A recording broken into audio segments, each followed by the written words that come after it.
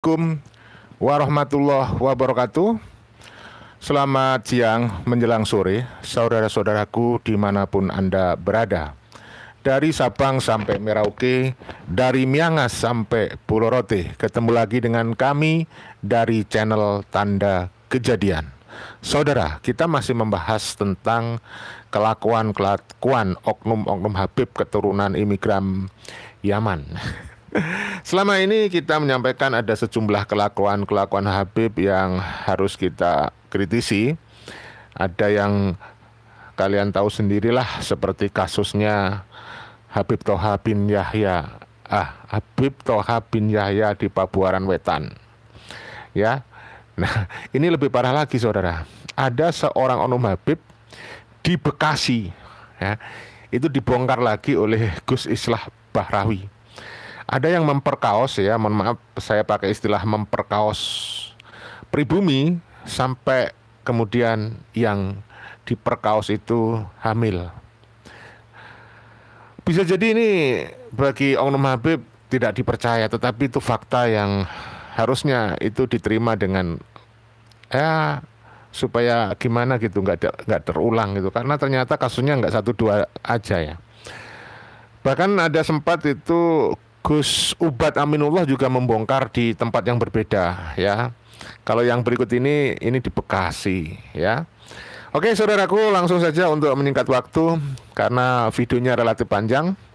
Saya akan langsung perdengarkan ulasan dari Gus Islah Bahrawi ya.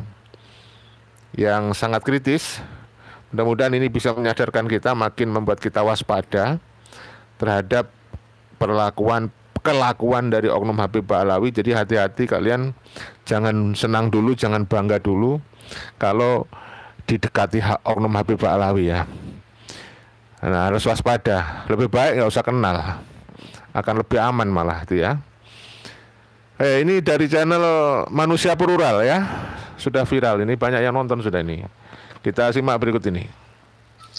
Termasuk beliau bercerita tentang habaib. Ya, Beliau menceritakan bahwa ada Habib yang memerkosa, ada Habib yang menipu dirinya, dan lain sebagainya.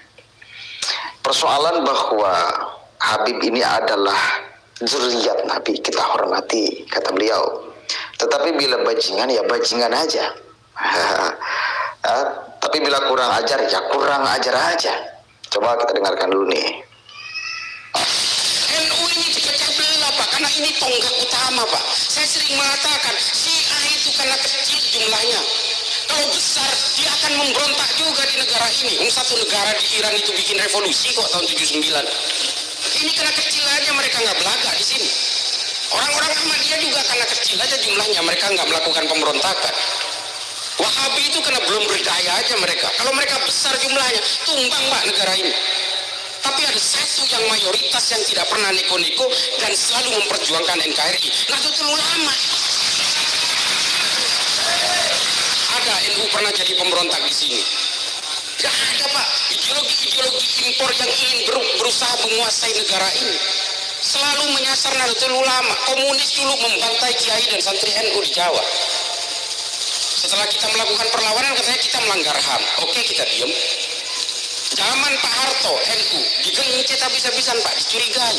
Sampai Gus Dur itu dijadi diberikan tokoh tandingan namanya Abu Hasan. Dalam muktamar NU di Cipasu karena tidak mau. Kalau Gus Dur berkuasa dia bisa mengambil alih negara ini dari saya kata Pak Harto. Tapi ya Alhamdulillah Gus Dur tetap memenangkan muktamar itu. Selalu dicurigai digencet. Sampai Gus Dur pun ketika jadi presiden diturunkan paksa Pak. Oleh gerombolannya gelandangan politik. Apa ada orang NU yang ngamuk? Bikin aksi apa, apa 212 terus kemudian datang ke menjadi monas limin gitu. Terus kemudian bikin rusuh di Jakarta. Nggak ada pak. Apa kata Gus Dur? Tidak ada jabatan yang bisa dipertahankan mati-matian di dunia ini. NKRI jauh lebih penting daripada saya. Kata Gus Dur ini. Makanya kemudian kalangan Nahdien sadar negara ini jauh lebih penting persoalan politik Pak umat Islam itu nggak mikir imannya sama, sadarnya sama, Qurannya sama, nggak mikir Pak. Pokoknya kalau beda orientasi politik, lu musuh gua. Ini Islam ini. Nah peluang ini yang dilihat oleh orang Barat. Lalu orang Barat menciptakan boneka-boneka politik NU hari ini disasar orang NU itu paling senang dengan habaib. Menghormati para habaib. Ini ajaran ajaran ulama-ulama NU peluang ini pun masih dipakai Pak. Menciptakan oknum-oknum habaib untuk menghancur belah menghancur menghancur leburkan dan menghina ulama NU menghina Gus Dur dan sebagainya. Ini boneka nih boneka. Makanya saya setuju dengan Kiai Nasi tadi yang mengatakan kita betul-betul memposisikan ahlul bait itu sebagai posisi tertinggi. Kita sepakat itu karena ini bagaimanapun kita harus membangun kecintaan kepada Rasulullah lewat penghormatan terhadap para zuriyahnya. Tapi soal moral lain lagi Pak. Meskipun Habib kalau bajingan ya bajingan aja. Ini mohon maaf Pak, ini persoalan moral manusia. Kalau kita kemudian benci kepada orang yang melakukan penipuan tapi dia Habib, ya kita benci kepada kelakuannya bukan kepada Habibnya. Saya ditipu berkali-kali Pak sama Habib karena saking takdirnya. Wallahi, batu cincin lah apalah. Dikatakan ini busafir ahli ini wallah asli ini. Ternyata beling pak jatuh di kamar mandi prang beling. Dari botol. Nah coba, ini mohon maaf, ini saya cerita soal ini bukan apa. Untuk zuriat Nabi, kita sepakat, kita mengikuti anjuran para ulama yang kita belajar juga Duratun Nasihin juga kita temukan kok itu bahwa menghormati zuriat itu sama artinya dengan menghormati kanjeng Nabi. Kita sepakat itu. Tapi Habib itu bukan Habib pak, Habib itu jamak. Habib ini kan persoalan persorangan, individu. Kelakuannya macam-macam pak kalau ada Habib yang kemudian memperkosa pasiennya di Bekasi sampai tiga orang sampai hamil dua orang itu kita mau cium tangan mohon maaf saya mending cium tangan ke Kiai Nasi aja Masya Allah jadi di Bekasi ya saya kira orang-orang Bekasi tahu ini dua orang perempuan yang sudah hamil gara-gara keganasan dari nafsu birahi Oknum Habib Baklawi ini harus kita waspadai. Jadi hati-hati kalian tuh. Jangan seneng. Woi punya kenalan Habib, punya teman Habib gitu. Jangan seneng dulu, Bang. Hati-hati waspada, Bang. Ya. Jangan-jangan seperti ini kejadiannya. Seperti juga di Banyuwangi. Itu mereka kan memang memposisikan diri sebagai ahli agama. Yang di Banyuwangi itu yang menghabisi nyawa, nyawa jamaahnya juga gitu. Seorang pemimpin majelis selawat Uh, itu yang ada di Pabuaran Wetan Habib Toha bin Yahya juga begitu. Dia seorang pemimpin majelis solawat juga. Dan memang mereka itu mengambil profesi-profesi sebagai ulama yang sebenarnya mereka nggak layak untuk disebut ulama. Kalau memakai teorinya Ki Haji Madidun Usman, mereka bukan ulama, tetapi penceramah. Penceramah memang pinter kalau ceramah. Karena sejak kecil mereka memang diajari bagaimana caranya ceramah, mendoktrin orang-orang pribumi. Sehingga saya nggak heran kalau ada para pemuda-pemuda Onom Habib Ba'alawi keturunan imigran Yaman ini masih bocil, masih bau kencur ingusan, udah kalau ceramah pinter. Kalau gedabrus pinter, apalagi kalau cerita-cerita korofat. Ya karena memang bisa jadi itu memang sudah dianjurkan oleh Robito Alawiyah, ya kan? Karena buktinya mereka juga nggak menegur. Pengurus Robito Alawiyah juga nggak menegur ya. Biarin aja. Kenapa kita bilang dibiarin lah buktinya itu berkali-kali di satu tempat tempat lain satu oknum Habib oknum Habib lainnya lagi kayak bersaut-sautan gitu. Saling mensupport ya dalam ceramahnya mendoktrin umat bangsa pribumi Nusantara ya. Ini saya tidak nah mas persoalannya kemudian ada beberapa oknum Habib. Oknum Habib yang justru menghancur leburkan NU dan membentuk enklaf-enklaf perlawanan di NU Madura itu hancur lebur Pak hari ini NU-nya. Karena apa? Politik Pak. Mulai dari zaman Prabowo 2014, Prabowo 2019, hari ini Anies, semua dibelah-belah umat itu. Hadir ke sana Habibnya. Isinya apa? Memecah belah orang. Meng ada fakta yang baru saja diungkap oleh Gus Islah Bahrawi Jangan dibilang tidak ada organisasi NU di daerah yang tidak hancur dalam tanda petik. Gus Islah tadi sudah mengungkap fakta baru ya bahwa di Madura NO-nya itu sudah hancur, sudah hancur. Bukan saya yang bilang. Barusan saya menirukan ceramah dari Gus Islah Baharawi. Jangan sampai di daerah lain, jangan sampai secara nasional rusak, hancur, jangan sampai. Maka warga NO harusnya antisipasi. Jangan menjadi budak Habib Baklawi ya, jangan. Nanti kasihan NO nanti tidak hanya di Madura yang hancur nanti, nasional bisa-bisa hancur ya karena kelakuan Ono Habib Baklawi yang nyusup ya ke uh, organisasi NO. Kemudian merubah-rubah secara NO supaya diakui mereka itu ber berjasa kompori orang, lawan semua. Yang tidak mendukung Anies itu adalah orang kafir yang tidak setuju terhadap Islam. Ini loh yang dilawan oleh Khalifah Umar bin Abdul Aziz.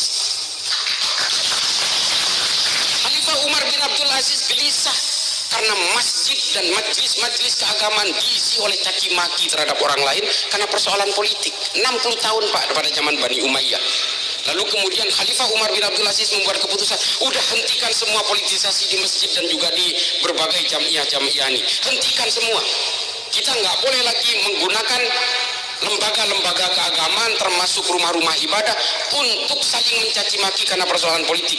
Lalu Khalifah Umar bin Abdul Aziz membuat ketentuan khotib Jumat harus membaca surat An-Nahl ayat 90. Nah makanya kemudian para khotib hari ini membaca ayat itu untuk menghentikan apa? Menghentikan politisasi agama di masjid, Pak. Inna Allah ya'muru bil adli wal ihsan wa ita'i qurba wa yanha 'anil fahsya'i wal munkari wal bagh yaidukum la'allakum tadhakkarun wa la dzikrullahi akbar kan gitu Hatib. Ini sebenarnya yang menggagas adalah Khalifah Umar bin Abdul Aziz. Khalifah kelima dari Bani Umayyah untuk menghentikan apa? Politisasi agama di masjid. Hari ini ada partai baru netes bilang mari kita jadikan masjid sebagai tempat jihad politik. Ini mohon maaf. Mohon maaf ya, diduga partai yang baru netes itu itu partai yang di dalamnya itu berisi oknum-oknum Habib Balawi keturunan migran Yaman. Kita duga itu para muhibinnya, para pendukung Habib Balawi migran Yaman itu membuat partai. partai baru netes. saya paling benci. Saya paling benci. Ini yang merusak yang merusak umat Islam Pak memecah belah umat Islam karena kepentingan-kepentingan politik kemudian umat Islam dipecah belah supaya apa you are either with them or you are with us ini bahaya Pak oke okay. jelas ya terima kasih Gus Islah ya setuju ya berbahaya apalagi kalau Balawi itu menggunakan simbol-simbol agama, curian Nabi, mengkapitalisasi nasab Rasulullah ya, dan terus mempertebal hidupnya politik identitas. Ini berbahaya ya, mempolitisasi agama. Itu bahaya sekali. Saya setuju. Coba kita dengar sim, uh, ulasan dari Gus Ropik ya dari channel Manusia Plural berikut ini. Ya meskipun kemarin kita berbeda secara pilihan politik, tapi wes itu sudah usai. Itu sudah selesai persoalan politik udah selesai. Kita kembali kepada hitohnya masing-masing. Saya dengan Gus Islah Bahrawi, saya sangat kagum kepada beliau. Saya menghormati sepak terjang beliau. Saya takdim kepada beliau karena keilmuannya dan lain sebagainya termasuk beliau selalu menceritakan fakta-fakta yang memang kita mesti perhatikan apalagi sebagai warga Nadiyin yang disasar untuk kemudian dipecah belah. Untuk kemudian diadu domba. Ya dan lain sebagainya. Beliau menceritakan itu secara gamblang.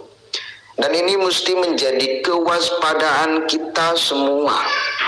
Jangan sampai kita mau diadu domba. Penting gak informasi kayak gini? Oh sangat penting sekali saudara, sangat penting sekali. Di tengah kita memang sedang banyak kebingungan. Ya, di satu sisi ini ada ulama yang ngomong kayak gini, di sisi lain ini ada ulama yang ngomong kayak gini. Ini yang benar, ini yang mana? Kita mesti mengambil sikap seperti apa dan lain sebagainya. Ya, kan itu penting supaya otak kita kemudian terbuka. Jangan sampai tidak mau tidak mau melepaskan kungkungan doktrin dan lain sebagainya. Kita harus belajar untuk melepaskan itu. Hmm, selama ini kan seolah-olah masyarakat itu ketakutan mengomentari sikap-sikap dari oknum Habib ini yang kurang ajar, ketakutan karena takut kualat dan lain sebagainya. Karena melihat bahwa dia adalah turunan Nabi, takut.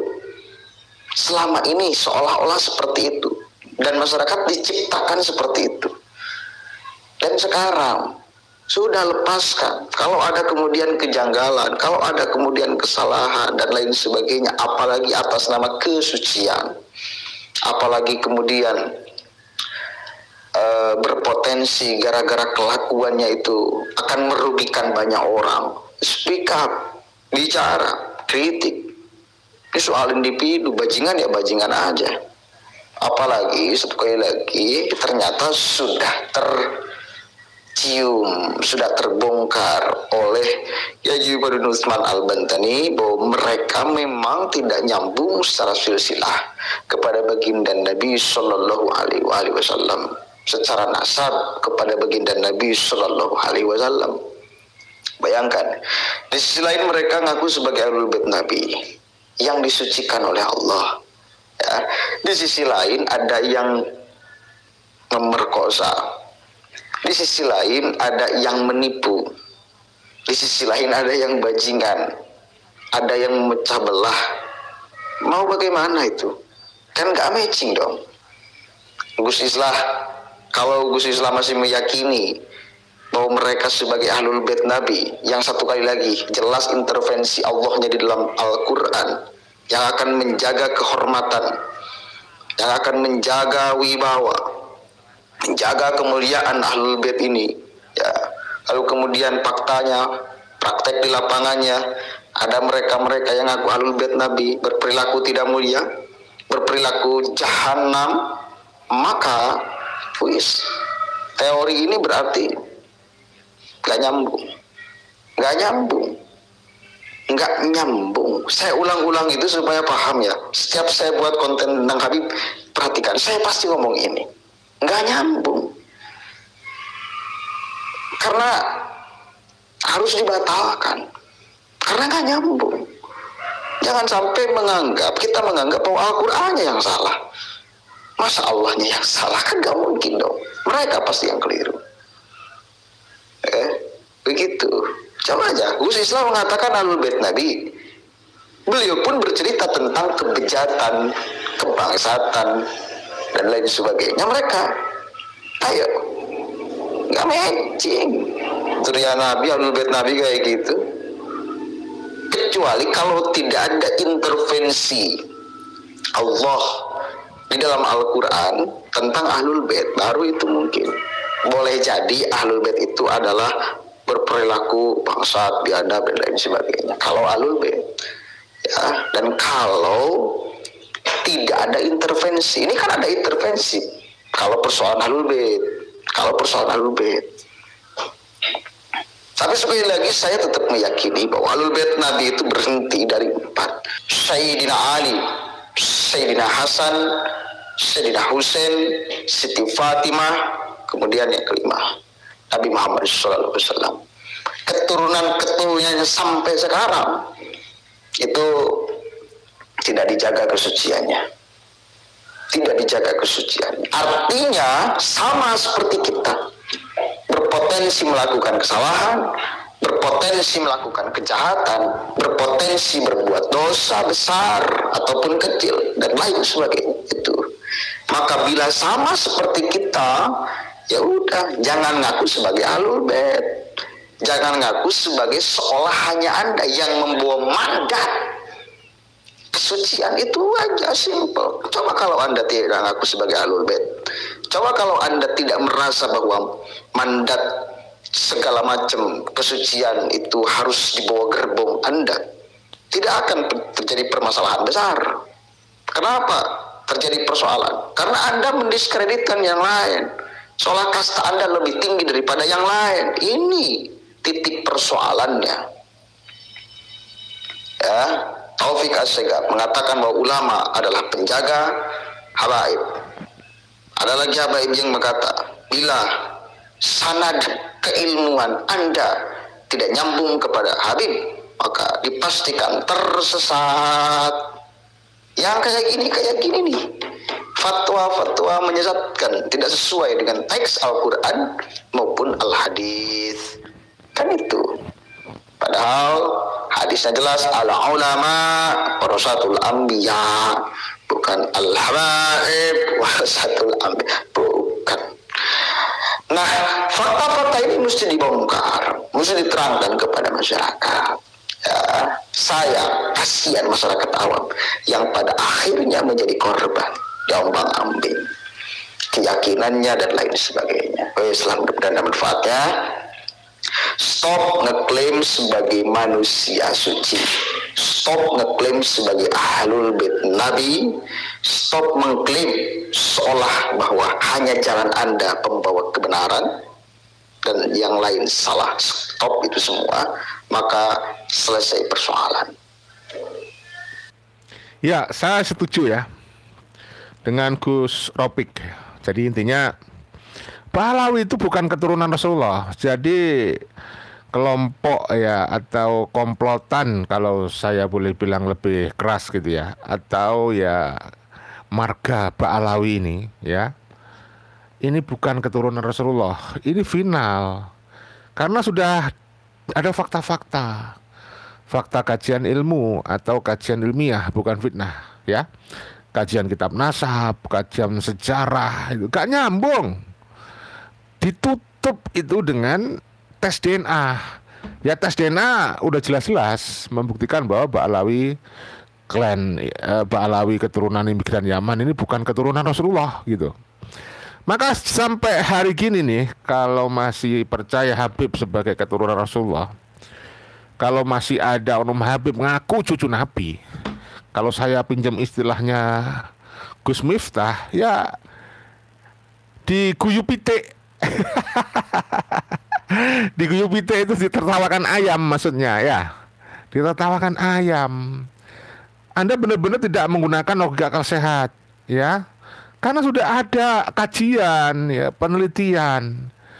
Jadi ternyata berdasarkan kajian ilmiah itu Ba'alawi itu yang pengakuan mereka sebagai anaknya Ahmad bin Isa al-Abah keturunan Sayyidina Ahmad bin Isa al-Abah itu Sayyidina Ahmad bin Isa al-Abah nah itu hanya tiga orang yang masuk nah habis itu dikasih tambahan oleh si Habib Ali Sakron yang meninggal 89 Hijriah itu dengan nama baru yaitu Ubaidillah ini jelas-jelas Ubaidillah bin Alwi itu tokoh fiktif ya Alwi bin Ubaidillah ya maksudnya. Tokoh fiktif juga ya.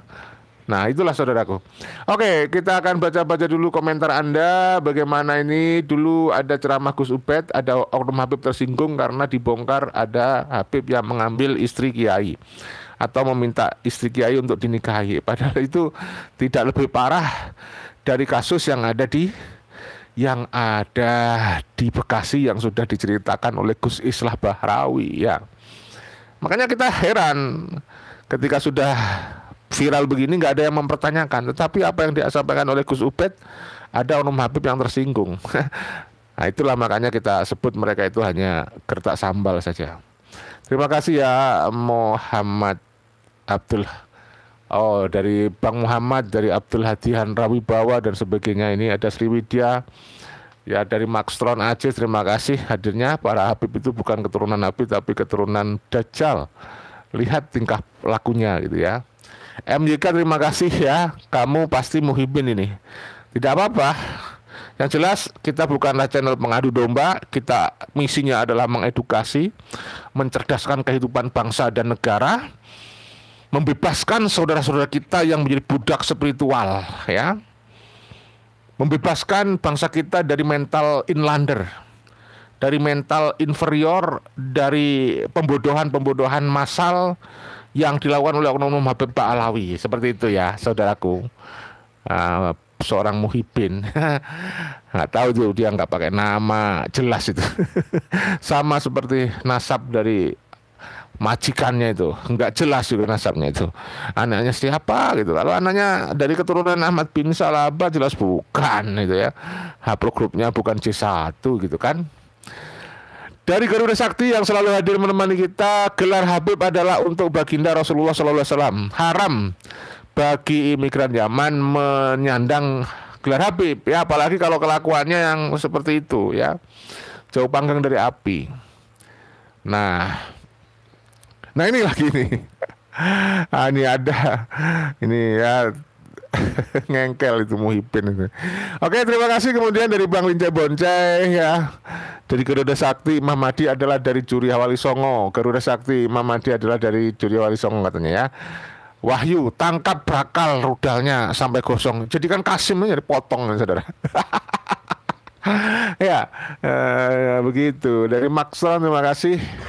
Usir Habib Yaman yang suka mengadu domba dan menyesatkan umat lah. Oknum-oknum Habib Alawi itu yang mengadu domba. Mana saya mampu mengadu domba? Saya manusia biasa ya.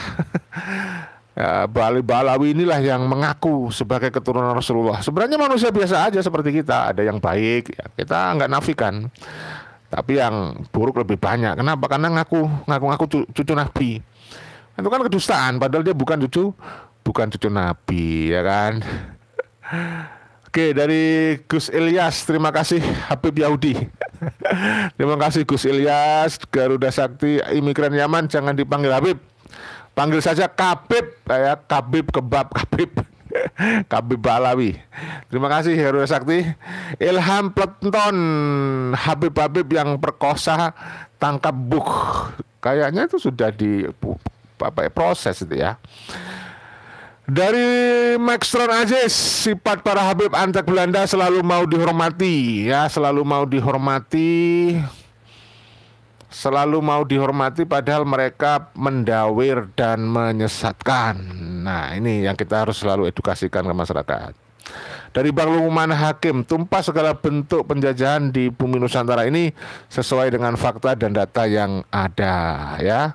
Jauhi fitnah-fitnah, Ya, kita baca yang terbaru. Nah, dari Bang Bayu 21, Pak Alawi kok berani sampai bersumpah kalau Kabib turunan Nabi, weh ngisi-ngisi itu. Ya demi kemuliaan saudara, demi mendapatkan kemuliaan di muka bumi. Dari Al Mustafa terima kasih astagfirullah semakin hari kaum Pak Alawi semakin ngeri. Mohon pemerintah untuk ketegasannya. Ini uh, sudah sangat berbahaya. Jangan sampai NKRI dikuasai, dipecah belah oleh penjajah Yahudi, PKI ya. Kita cinta ulama Nusantara. Saudara kalau yang ngomong atau yang cerita itu saya, mungkin Anda boleh tidak percaya karena saya bukan siapa-siapa. Tetapi yang kita sampaikan itu sumbernya adalah dari Gus Islah Bahrawi. Gus Islah Bahrawi itu yang sering menyampaikan kuliah di depan banyak aparat keamanan itu. Wah itu luar biasa. Ya saya percaya itu. Karena pasti Gus Islah Baharawi itu punya datanya. Nggak akan ngarang dia. Ya. Kemudian dari tak sama. Ngakunya cucu Nabi. Tapi kerjaannya kok bikin makam palsu. Nah itu ya. Tuh dianggap wali Allah lagi.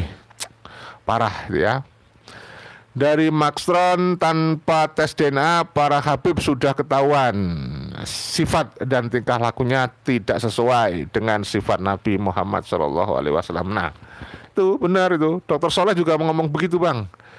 Jadi Dokter Soleh juga menyampaikan tanpa riset sudah beliau itu meyakini berdasarkan kesimpulan beliau sendiri dari kajian perilaku itu perilaku Nabi Ba'lawi nggak mungkin keturunan Rasulullah karena kalau keturunan Rasulullah itu dijaga kesuciannya. Keturunan Rasulullah jangankan dawir, terima sedekah itu nggak nggak dihalalkan. Nggak boleh kalau nyata-nyata asli curian Nabi ya. Kecuali yang ngaku-ngaku memang tujuannya ngaku-ngaku supaya dapat kemuliaan ya, dapat dawir sana sini, lain lagi itu. Nah, dari Amir Umar Tono terima kasih yang terbaru nih komentarnya. Ya, tak ada yang lebih buruk dan celaka Ciri khas Balawi Yaman, bejat, halu, khayal, dan ilusi penipu, pendusta, sebab kakek moyangnya suka makin da, makan daun kecubung. daun kecubung itu yang bikin mabuk itu ya. daun kecubung ala Yaman. Oke saudara, saya kira cukup itu yang bisa kita sampaikan. Mudah-mudahan ada manfaat dan bisa menghibur Anda, ada hikmah dan bisa memberikan rekreasi. Saudara-saudara, sudah 30 menit ya. Bajak sayur, terima kasih hadirnya. Nyimak aja, salam waras, salam waras ya, salam persaudaraan. Mohon maaf ya kalau ada salah-salah kata, salah-salah dalam berucap. Ini adalah live streaming, barangkali ada gangguan jaringan internet, ber akibat bisa jadi pada suara terputus tidak jelas dan sebagainya mohon dimaklumi Teruskan diskusi Anda tulis di kolom komentar. Mudah-mudahan komentar Anda menjadi bahan edukasi untuk para muhibin Buddha spiritual dan juga bisa menjadi bahan edukasi untuk Habib-Habib Ba'alawi. Yakinlah tulisan ka kalian akan dibaca oleh muhibin. Channel-channel kayak gini ini pasti diperhatikan oleh muhibin ya. Udah dipantau tiap hari oleh muhibin, oleh oknum Habib ya. Nah ini kayaknya Salma, Salma Salma Salmasi apa ini namanya? Ini kayaknya Muhibin ini. Ya mudah, mudah tahu ini perempuan apa laki-laki saya nggak tahu. Tapi kalau perempuan mudah-mudahan apemnya terjaga. Oke saudara salam persaudaraan salam cinta damai ya. Perjuangkan kesetaraan jangan ada yang merasa lebih mulia daripada yang lainnya. Salam Pancasila Jaya. Pancasila harga mati NKRI harga mati Salam Pancasila Jaya, salam Undang-Undang Dasar 1945. Salam Binika Tunggal Ika. Wassalamualaikum warahmatullahi wabarakatuh. Merdeka!